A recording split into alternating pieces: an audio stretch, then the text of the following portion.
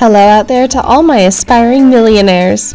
Welcome back to the Xlani channel, where today we're going to be continuing our series on the world's top billionaires.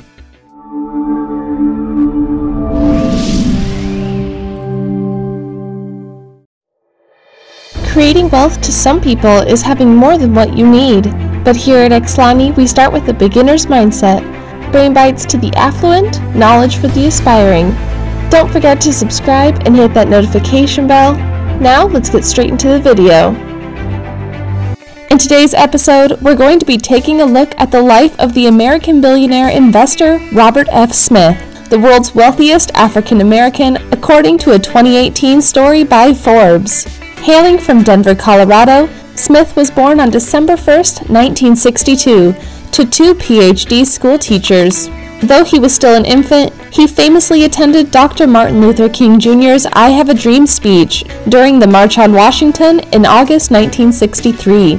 While in high school, he demonstrated his gumption and drive for excellence when he persistently pursued an internship at Bell Labs, even though they told him it was a position intended only for college students. In a stroke of both fate and determination, Smith earned the position when a student from MIT did not show up. It was during his internship that he developed a reliability test for semiconductors. He would go on to study at Cornell University, where he became a brother of the fraternity Alpha Phi Alpha. After graduating from Cornell, he worked at Air Products and Chemicals, Goodyear Tire, and Rubber Company, and as a chemical engineer for Kraft General Foods, during which he earned two U.S. and European patents. Deciding to continue his education, Robert started an MBA program at Columbia's Business School, where he earned a degree in finance and marketing with honors.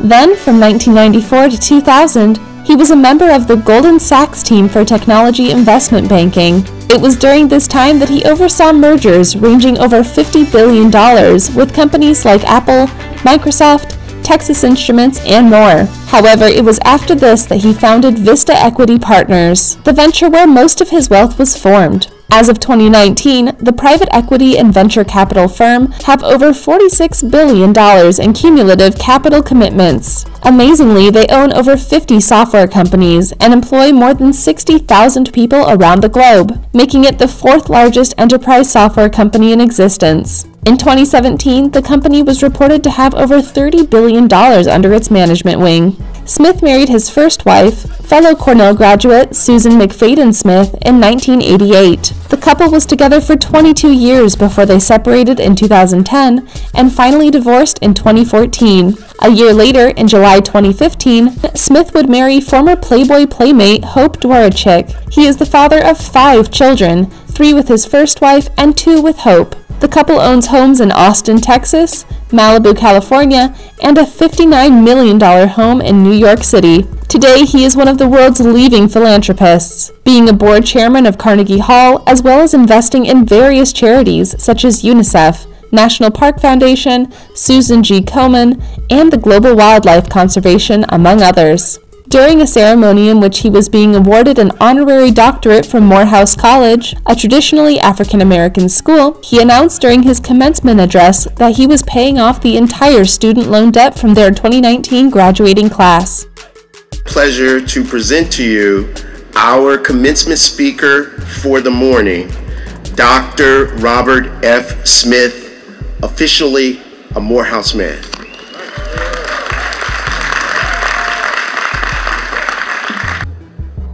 On behalf of the eight generations of my family who have been in this country, we're going to put a little fuel in your bus. Now, I've got the alumni over there, and this is a challenge to you, alumni. This is my class, 2019.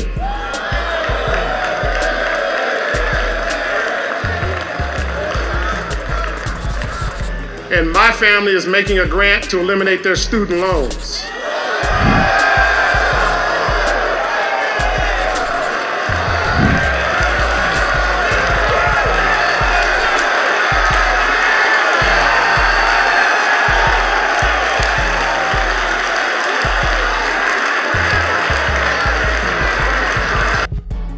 Robert F. Smith's desire to achieve greatness and persistence in the face of adversity is an incredibly valuable lesson for any person aspiring toward success. Despite humble middle class beginnings, he worked tirelessly to achieve his goals. He is a prime role model for all of those hoping to achieve wealth and happiness in life.